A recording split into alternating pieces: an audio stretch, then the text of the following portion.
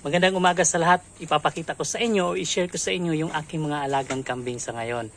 Ito na yung medyo nabisihan ko. Hindi na po ko nag-adenium. Tsaka iniwan ko na din yung pag-ista-ista. Gusto kong bumalik sa pag-adenium. Yun nga lang wala na akong lugar. Okay? Ah, pakita ko na lang muna ito sa inyo yung aking mga alagang kambing. Baka sakaling meron sa ating mga kasamahan dito na nag-aalaga po ng kambing. Ito po sila ngayon. Ito na yung mga ah, pinaglilibangan ko ngayon guys. Maliban sa pagko-content sa Facebook nagre-reels tayo. Ito din po. Yan. So ito yung isang uh, bower anglonubian ko. Okay? Maganda na din yung ano, tenga. Meron ba nag-aalaga ng kambing sa ating mga kasamaan? Napaka-friendly itong mga kambing ko. May manok pa.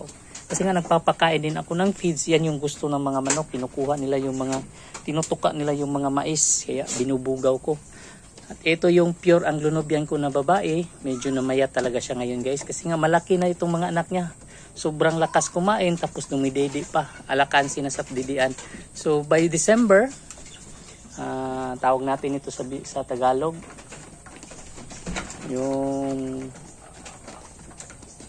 lutas. Lutas sa Bisaya. Ilutas na po natin. So babae at lalaki din po yan. Mga pure po yan. Ngayon makikita nyo mga tenga at ang gaganda. Yung lalaki, naalisan na natin ng kungay, sungay, pati yung babae. Pero yun nga lang, basta lalaki, medyo makuna talaga alisin yung sungay o patayin yung sungay ng kanyang uh, nasa ulo niya. Itong dalawa naman, babae at lalaki din po. So ang anak nito is okay din naman. Ayan o. Oh. Hmm. Kahit na hindi pure, maganda din yung mga tinga na. Tsaka mataas din yung uh, tindig niya. Yan, makikita nyo. Kasi ang papa nito, ayan. Oh, isang pure Anglo-Nubian din po yan. So planning po tayo for upgrade para naman gaganda pa yung lahi nila. So, itong anak nitong isa is babae at lalaki din. Tapos ito babae at lalaki din. Open na din. Binta natin tong lalaki nito kasi hindi na natin kailangan. Binta natin. Tapos yung babae iwan lang po natin no, para for breeding purposes po. Meron akong ready to breed dyan by December na yan. Yan dalawang yan malalaki sa labas. Uh, video natin. So, ayan yung dalawa. Mga pure Anglo-Nubian yan. So, ready to breed na yan sila.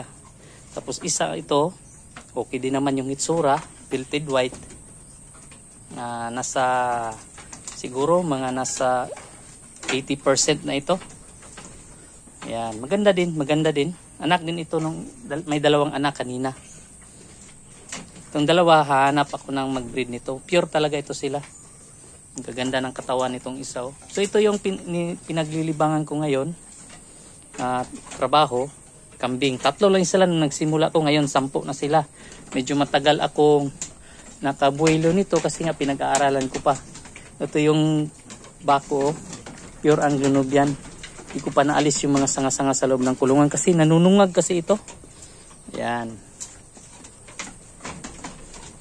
Pure Anglo-Nubian po talaga ito guys. Meron ba nag-aalaga ng kambing sa ating mga kasamahan dito? Nilalagyan ko ng bintana dito okay para pag maglandi itong dalawa malaman ko kasi lalapit at lalapit yan sila dito. Okay, kung maglandi yan, dadalhin ko yan doon, maghanap ako ng ibang bak. Kasi papa nila ito, hindi pwedeng ma-inbreed. So ayan lang pinaglilibangan ko dito ngayon. Meron pa akong bakanting kulungan dito.